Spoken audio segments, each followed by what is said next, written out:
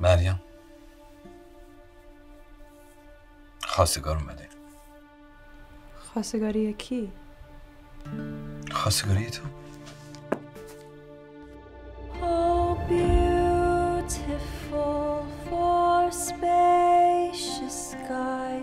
آخه این بهترین دانشگاه ایرانه.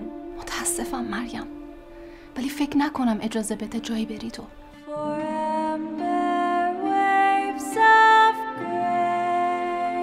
بیا با هم فرار کنیم. من همین الانم در حال فرارم. به کجا؟ شاهانه. خانم آزاد داره اسناد ویزا رو برام تایید می‌کنه. پروازت کیه؟ صبح روز عروسی.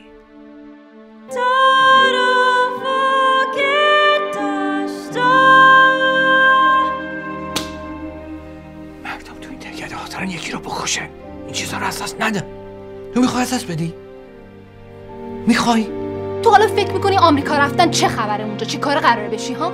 فکر می‌کنی اونا منتظرن تو بری استاد دانشگاه بشی فیلسوف بشی؟ آخه مریم؟ آره مامان.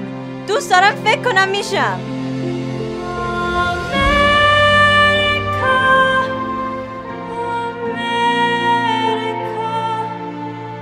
من درست بعد از انقلاب اومدم اینجا. تنهایی برام غیر قابل تحمل بود خب چیکار کردی؟ رفتم برای خودم یه جفت کفش قرمز بلند خریدم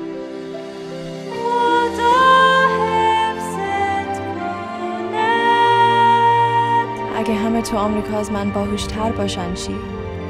هیچ کس از تو باهوشتر نیست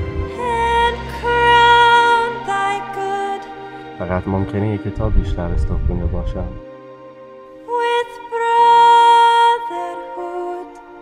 اگه از محبت هایی که خدا بهت داده استفاده نکنی گناه کردی.